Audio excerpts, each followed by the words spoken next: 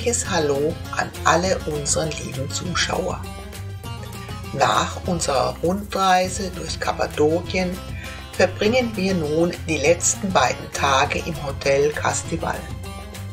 Heute steht unser Ausflug nach Antalya an. Doch bevor es losgeht, steht obligatorisch noch der Besuch einer Lederverkaufsveranstaltung auf dem Programm. Bei einer Modenschau, bei der auch einige unserer Mitreisende als Models auftraten, wurden uns Kreationen aus Leder präsentiert.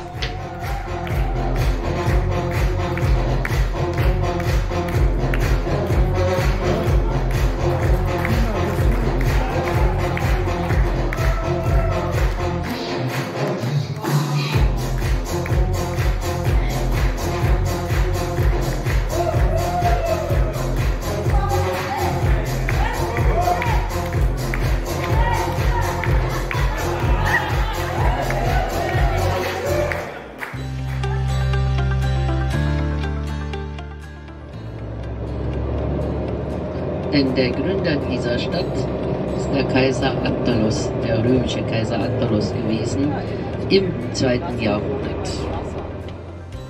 Unser erstes Ziel, nachdem wir auch noch in einer Schmuckfabrik waren, ist der Düdenwasserfall. Er liegt nur wenige Kilometer von Antalyas Stadtzentrum entfernt und ist ein wahrhaft magischer Ort. Was den Düdenwasserfall so einzigartig macht, ist seine spektakuläre Lage.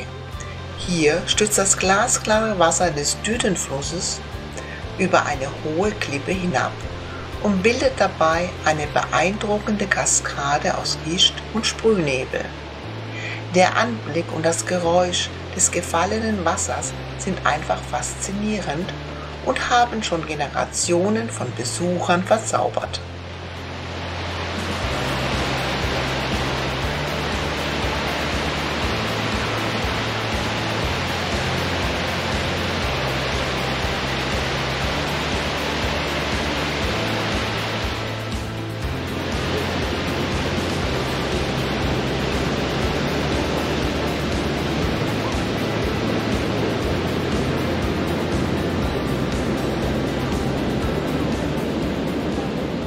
Dieser majestätische Wasserfall bietet eine fantastische Kulisse, umgeben von üppigem Grün und klarem, erfrischendem Wasser.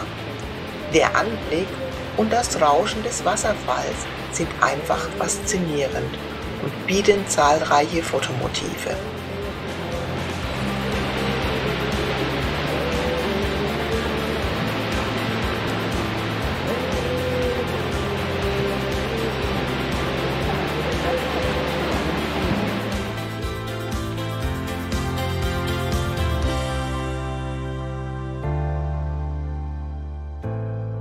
Als wir den Blick über die Altstadt von Antalya und den Hafen schweifen, sind wir von einer faszinierenden Szenerie umgeben. Die Altstadt ist ein historisches Juwel, das mit charmanten, engen Gassen und gut erhaltenen Gebäuden aus der osmanischen und byzantinischen Ära aufwartet. Der Mix aus traditioneller Architektur, bunten Häusern und blühenden Pflanzen verleiht der Umgebung ein malerisches Ambiente. Also, also gehen wir runter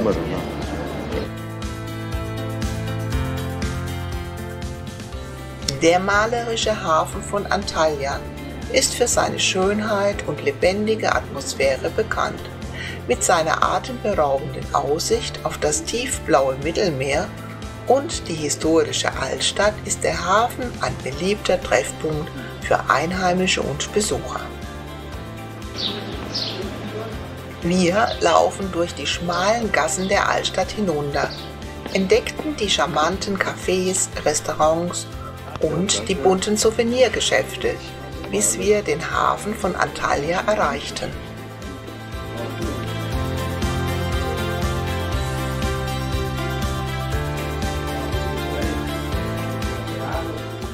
In diesem Geschäft gibt es Kürbisse einmal anders.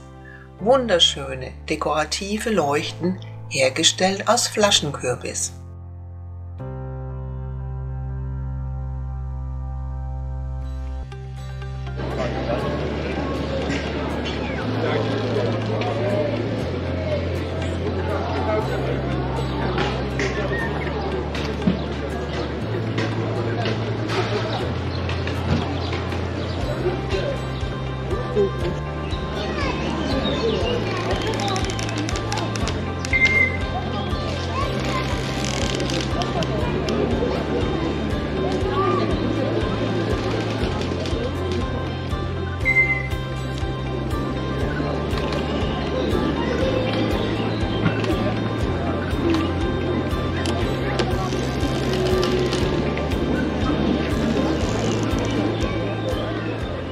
Wir genossen den Spaziergang entlang der Promenade, atmeten die frische Meeresluft ein und bewunderten die beeindruckenden Yachten und Boote.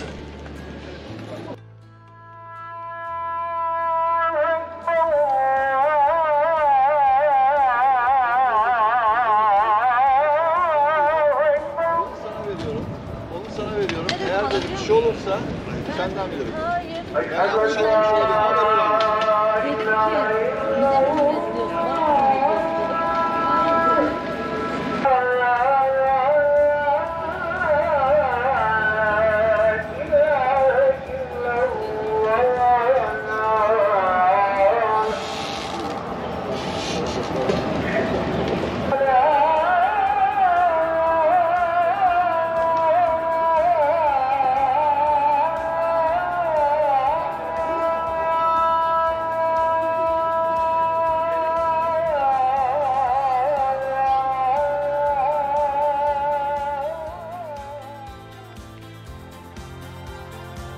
Der Hafen von Antalya ist nicht nur ein Ort für Besucher, sondern auch ein wichtiger Wirtschaftsfaktor für die Region.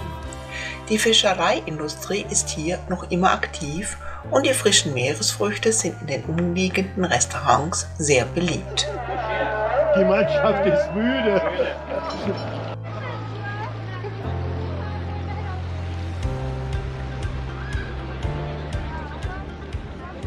Die Geschichte von Antalya reicht bis in die Antike zurück und das spiegelt sich auch in den historischen Gebäuden und Denkmälern wider, die den Hafen umgeben.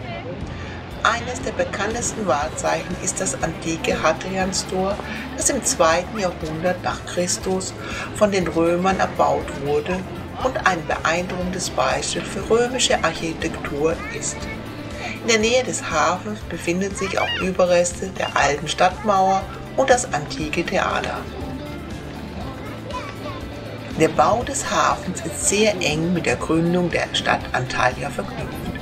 Im Jahre 860 war der Hafen ein Flottenstützpunkt für die arabischen Eroberungszüge. In der heutigen Zeit wird der Hafen nur noch als Yachthafen verwendet. Es handelt sich um einen sehr beliebten Ausgangspunkt für Bootsreisen. Es sind Bootstouren für eine halbe Stunde, aber auch über mehrere Tage hinweg möglich.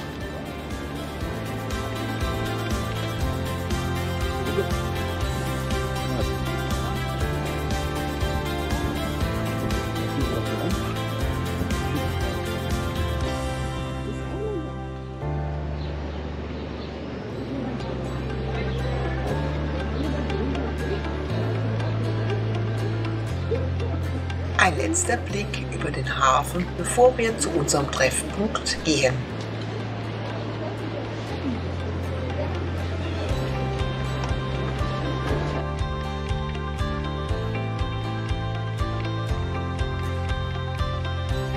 Geduldiges Warten, bis alle zurück sind.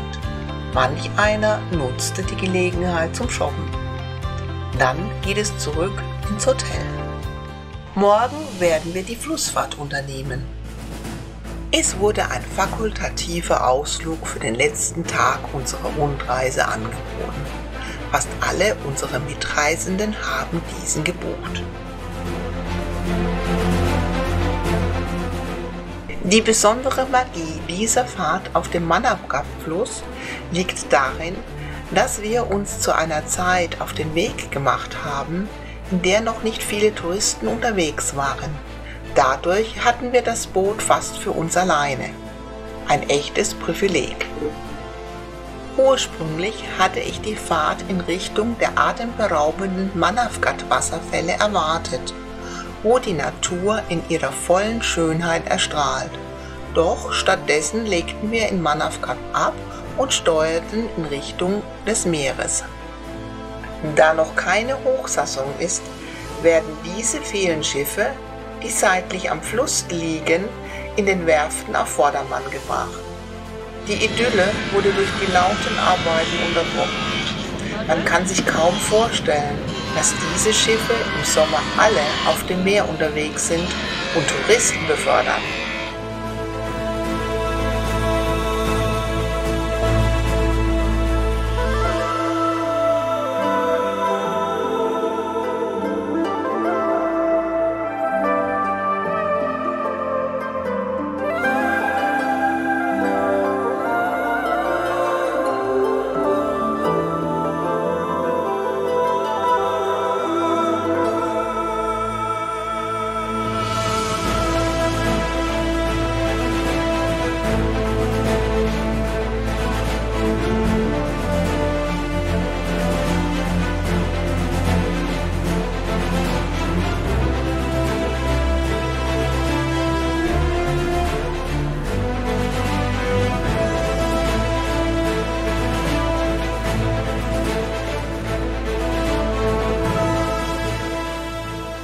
Während wir uns der Mündung näherten, hielten wir an einer idyllischen Sandbank, die uns die Möglichkeit bot, bei schönem Wetter ins erfrischende Wasser zu tauchen. Einige Mutige aus unserer Gruppe wagten sich hinein, doch wir entschieden uns für einen Liegestuhl.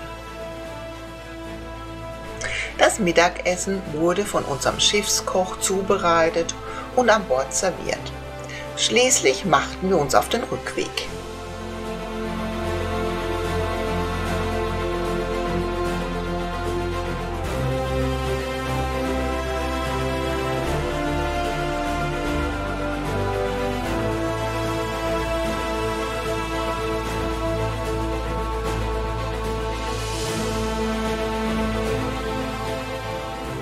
Wir vier haben uns dafür entschieden, unseren Aufenthalt zu verlängern. Von den anderen Mitreisenden müssen wir uns verabschieden. Bedanken möchten wir uns bei unserer außergewöhnlichen Reiseleiterin Sea, die uns nicht nur bestens betreut hat, sondern uns auch mit wertvollen Informationen über Land und Leute versorgt hat. Nun ist unsere aufregende Rundreise zu Ende. Falls ihr Interesse an den anderen Videos von dieser Reise habt, könnt ihr sie in der Beschreibung finden, wo ich sie verlinkt habe. Wenn euch dieses Video gefallen hat, dann gebt uns einen Daumen nach oben und abonniert unseren Kanal, um keine weiteren Abenteuer zu verpassen. Danke, dass ihr dabei wart und bis zum nächsten Mal.